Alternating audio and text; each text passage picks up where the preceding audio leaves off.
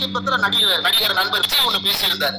சிறப்பு பொதுப்பட்டியல் ஒண்ணு உருவாக்கணும்னு பொதுப்பட்டியலே வேணாம்னு போராடிக்கிட்டு இருக்கிறோம். அதை தூக்கி போடுறதுக்கே பெரும் போராட்டமா இருக்கு. நீங்க புதுசா சிறப்பு பொதுப்பட்டியல் ஒண்ணு உருவாக்கி அதை ஒழிக்கிறதுக்கு பதினஞ்சு வருஷம் கழிச்சு போராடி இது தேவையா?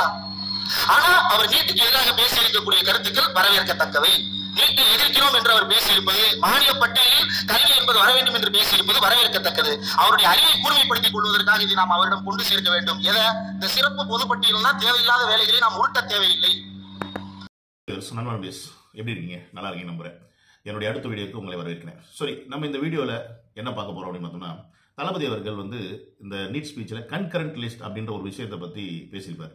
கன்கரண்ட் லிஸ்ட் அப்படின்னாவே பல பேருக்கு என்னன்னே தெரியாது. உண்மையாக சொல்ல போனால் அதுக்கான புரிதலும் கிடையாது. நம்ம இன்னைக்கு இருக்க அல்ல சில பசங்களாம் பார்த்தீங்கன்னா இந்த ட்விட்டரில் உட்காந்துக்கிட்டு நிறைய விஷயம் பேசிக்கிட்டே இருப்பாங்க. ஒருத்தர் ஒருத்தர் மாற்றி மாற்றி திட்டிகிட்டே இருப்பாங்க. ஸோ அதில் இருக்கும்போது விஜய்க்கெலாம் கண்கிறது பற்றி தெரியுமா? அதை பற்றி ஏதாவது தெரிஞ்சு வந்து பேசுறது. சும்மா எனக்கு என்ன பேசிட்டு இருக்காரு அப்படின்னு கலாய்க்கிற மோடில் பேசிட்டு இருப்பாங்க. ஒரு சில தற்கொலை சரி அவங்களாம் தற்கொலையாக இருக்காங்க பேசிட்டு போகிறாங்க நம்ம விட்டாலும் கொஞ்சம் படித்து அறிவார்ந்தமாக அறிவார்த்தத்தனமாக இருக்கிற ரைட்டர்ஸ்லாம் கூட இந்த மாதிரி பேசும்போது தான் கொஞ்சம் கஷ்டமாக இருக்குது இந்திரகுமார் அப்படின்றவர் பார்த்தீங்கன்னா ஒரு ஸ்பீச்சில் வந்து நான் விஜய் அவர்கள் பேசிய பேச்சை வரவேற்கிறேன். ஆனால் அதில் கல்வி வந்து இப்போ பொதுப்பட்டியல் இருக்குது ஸோ அதை வந்து ஸ்பெஷல் பொதுப்பட்டியல் ஒன்று கிரியேட் பண்ணி ஏதாவது ஒரு தீர்வு கொண்டு வரணும் அப்படின்னு சொல்லி பேசுறது வந்து ஏற்படுதா இல்லை அப்படின்னு சொல்லி ஒரு மாதிரி நக்கலாக பேசுகிற மாதிரி பேசுறாரு. ஏன்னு கேட்டிங்கன்னா அதுக்கப்புறம் நாங்கள் ஒரு பதினஞ்சு வருஷம் போராடி அதுக்கு வேறு நாங்கள் திரும்பி போராட்டம் பண்ணணுமா அப்படின்ற மாதிரி ஒரு கேள்வி வைக்கிறார். முதல்ல விஜய் அவர்கள் என்ன பேசினார் அப்படின்ற மேட்டர் அவர் ஃபுல்லாக புரிஞ்சுக்கிட்டாரு அப்படின்னு நமக்கு தெரியல.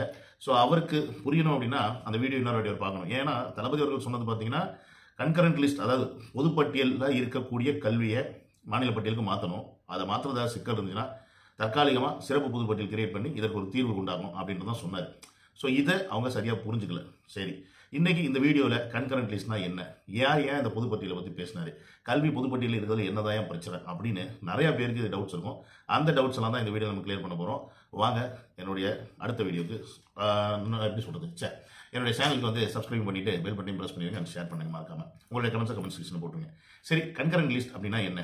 கன்கரண்ட் லிஸ்ட் ஏன் கிரியேட் பண்ணப்பட்டுச்சு? அப்படின்ற விஷயத்தை நம்ம தெரிஞ்சுக்கணும். அதாவது பொதுப்பட்டியல் அப்படின்ற ஒரு விஷயம் ஏன் கிரியேட் பண்ணப்பட்டுச்சு அப்படின்றது முதல்ல தெரிஞ்சுக்கணும். அதுக்கு முன்னாடி இந்தியா அப்படின்ற ஒரு விஷயம் நீங்கள் என்னென்னா ஒரு நாடு ஒரு ஆட்சி அப்படின்னு நினச்சிங்கன்னா அது தவறானது அது முட்டாள்தனமானது. இந்தியா அப்படின்றது கூட்டாட்சி. இரண்டு ஆளுமைகள். ஓகேங்களா? மாநில ஆட்சி மத்திய மத்திய ஆட்சி. அதாவது மாநில அரசு ஒன்றிய அரசுன்னு சொல்கிறாங்க இப்போ. So central government and state government வச்சுக்கலாம் ஸோ இவங்க ரெண்டு பேர் சேர்ந்தா தான் வந்து நமக்கு வந்து ஒரு அரசாங்கம் நடக்கும் நடத்தப்படும். அப்புறம் இவங்களுக்கு மேலே கவர்னர் இருக்காங்க. அப்புறம் வந்து ஆமாம் குடியரசுத் தலைவர் தான். ஓகேங்களா ஸோ ஆளுநர்கள் இருக்காங்க. ஸோ இவங்கெல்லாம் வந்து பார்த்தீங்கன்னா அடுத்தடுத்து இருக்க கேட்டகரி அப்போ இந்த கூட்டாட்சி தத்துவத்தில் இருக்கக்கூடிய இந்தியாவில் மாநில அரசுக்குன்னு சில அதிகாரங்கள் கொடுத்துருக்காங்க. அந்த மாநில அரசு வந்து என்ன வேணால் அதில் வந்து பண்ணிக்கலாம். உதாரணத்துக்கு மாநிலத்தில் நடக்கக்கூடிய ஒரு தொழிற்சாலை வைக்கிறாங்க ஒரு ரோடு போடுறாங்க இல்லை ஸ்கூல்ஸில் இருக்க பாடத்திட்டத்தில் வந்து மாற்றுறாங்க அப்படின்ற சில விஷயங்கள்லாம் இருக்குது ஸோ இதெல்லாம் வந்து அவங்க பண்ணிக்கலாமே ஒழிய இந்த ஹையர் எஜுகேஷன்ஸ் இருக்குது பாருங்க. இதை வந்து மாற்ற முடியாது அப்படின்றது தான் உண்மை.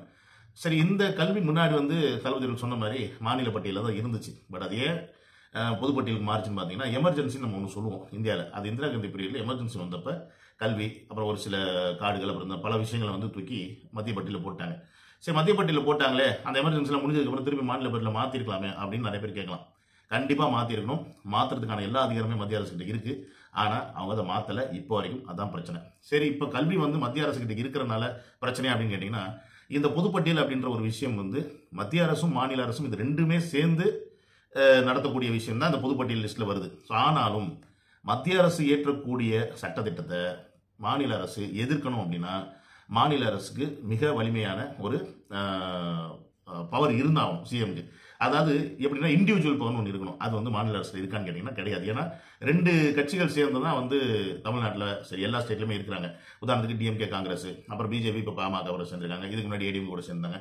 ஸோ இந்த மாதிரி நேஷனல் பொலிட்டிஷியன்ஸ் பார்ட்டிஸும் அண்ட் ஸ்டேட் பொலிட்டிஷியன் பார்ட்டிஸும் இணைந்து தான் வந்து மாநிலத்தில் ஆட்சி பண்ணுறாங்க பட் அதே தான் வந்து மத்தியிலையும் ஆட்சி பண்ணுறாங்க பட் பவர் அவங்களுக்கு அதிகமாக இருக்குது ஸோ அதனால் அவங்க ஒரு சில விஷயத்தை இம்ப்ளிமெண்ட் பண்ணும்போது மாநில அரசு வேண்டான்னு சொன்னாலும் அதுக்கு சட்டமன்றத்தில் தீர்மானமே போட்டாலும் அதை அவ்வளோ சீக்கிரம் இம்ப்ளிமெண்ட் பண்ண முடியுமான்னு கேட்டால் பண்ண முடியாது. ஏன்னா அவர் ஃபர்ஸ்ட் அது சட்டமன்றத்தில் போட்டு அதுக்கப்புறம் ஆளுநர்கிட்ட போய் அப்புறம் ஆளுநர்லேருந்து கவர்னர் இவர்கிட்ட யார்? நம்ம குடியரசுத் தலைவர்கிட்ட போய் அதுக்கப்புறமும் அவங்களாம் ஒப்புதலாம் கொடுத்து மேபி திரும்பி கோர்ட்டு கேஸ் போனாங்கன்னா அப்புறம் சுப்ரீம் கோர்ட்டில் போய் வாதாடின்னு இப்படி பல விஷயங்கள் இருக்குது இதெல்லாம் அவங்க செய்வாங்கன்னு கேட்டிங்கன்னா சத்தியமாக செய்ய மாட்டாங்க. ஏன்னா இவங்க சேர்ந்து தான் ஆட்சி பண்ணிட்டு இருக்காங்க அப்படின்னும் போது கர்நாடகாலேருந்து தண்ணி வாங்கி தர முடியல கல்வி வாங்கி கொடுத்துருவாங்களா அப்படின்ற கேள்வி தான் இங்கே வரப்போகுது. ஸோ இதெல்லாம் மனசில் வச்சுக்கிட்டு தான் தளபதி அவர்கள் என்ன சொன்னார்னா உங்களால் உடனே செய்ய முடியல. அதாவது பொதுப்பட்டியலிருந்து கல்வியை மாநில பட்டியலுக்கு மாற்றணும் அப்படின்ற விஷயத்த அவர் சொன்னது.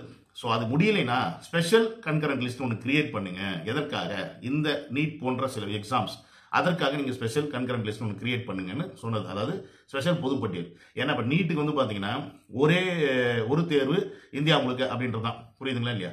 ஸோ அப்படி இருக்கும்போது இந்தியாவில் அதுலேயும் பார்த்தீங்கன்னா நார்த்தில் இருக்கிறவங்களுக்குலாம் கேள்விகள் ஹிந்தியில் வரும் அவங்க ஹிந்தியில் பதில் பண்ணலாம். பட் தமிழ்நாட்டில் இருக்கவங்களுக்குலாம் பார்த்தீங்கன்னா இங்கிலீஷில் வரும் அவங்க இங்கிலீஷில் சொல்லணும்.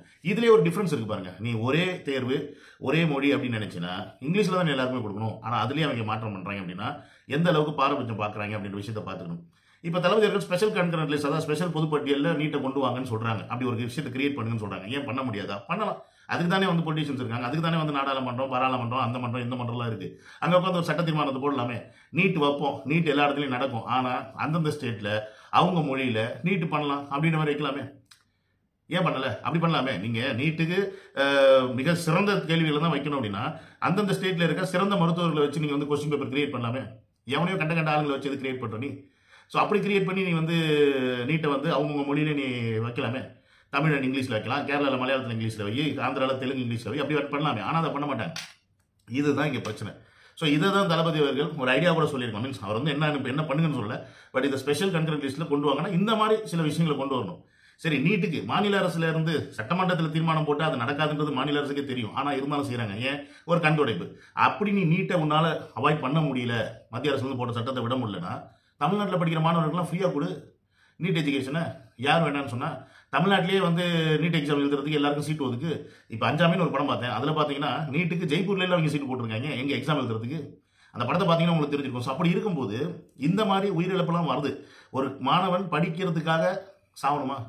அப்படின்றத மாநிலமும் புரிஞ்சுக்கணும் மத்தியமும் புரிஞ்சுக்கணும். இது ரெண்டுமே புரிஞ்சுக்கலாம் ஒன்றுமே பண்ண முடியாது. இதை இதை பற்றி பேசும்போது அதில் ஒருத்தர் சில விஷயத்த சொல்கிறாங்கன்னா அதில் என்ன நினச்சி சொல்லியிருப்பாருன்னு அதை ஆராயணுமே ஒழிய அதை வந்து கிண்டல் பண்ணக்கூடாது. அதுதான் சொன்னேன் இந்திரகுமார் போன்றவர்கள் இது கிண்டல் அடிப்பது எனக்கு மிகவும் வந்து ஒரு ஆச்சரியமா இருக்கு. இப்போ நீங்கள் படிச்சவங்களே எப்படி இருக்கீங்களா? இப்போ படிக்காதவங்க புரியாதவங்க எப்படா இருப்பாங்க? அப்படின்ற கேள்வி எனக்குள்ள வருது. எந்த அளவுக்கு ஒரு முட்டாளர்களாக இருக்கிறாங்க அப்படின்றதே நமக்கு புரிய மாட்டேங்குது.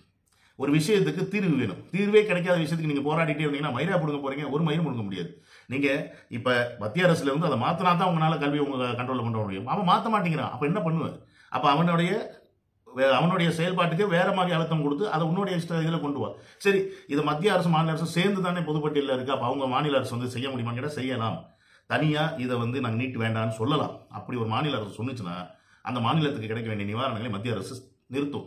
ஸோ அந்த நிவாரணங்கள்லாம் கிடைக்காம போகுது அப்படின்றனால வேறு சில விஷயங்களையும் வந்து செக் வைப்பாங்க மத்திய அரசுலேருந்து ஸோ இதுக்காகலாம் பார்த்துக்கிட்டு தான் இவங்க அட்ஜஸ்ட் அட்ஜஸ்ட் பண்ணி போகிறது ஒன்று அப்புறம் பக்கத்து ஸ்டேட்காரங்கெல்லாம் ஒத்துக்கிறாங்க அப்படின்னும் போது இவங்க வேற ஒத்துப்பாங்க. இது எல்லாத்துக்கும் மேலே கூட்டணி.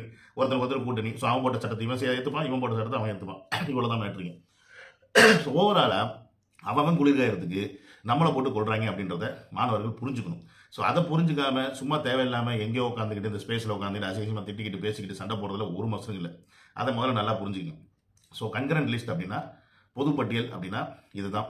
மாநில பட்டியலுக்கு மாநிலத்துக்கும் சில அதிகாரம் இருக்கு மத்தியத்துக்கும் சில அதிகாரங்கள் இருக்கு. ஆனால் மாநில அரசு மத்திய அரசும் சேர்ந்து செயல்படக்கூடிய விஷயங்கள் தான் இந்த எஜுகேஷன் காடுகள் இப்போ காடுகள்லாம் பார்த்தீங்கன்னா மத்திய அரசில் தான் இருக்குது பட் என்ன? பார்த்துட்டு தான் இருக்கிறீங்க. நீலகிரியில் ம- மலை உடைக்கிறாங்க.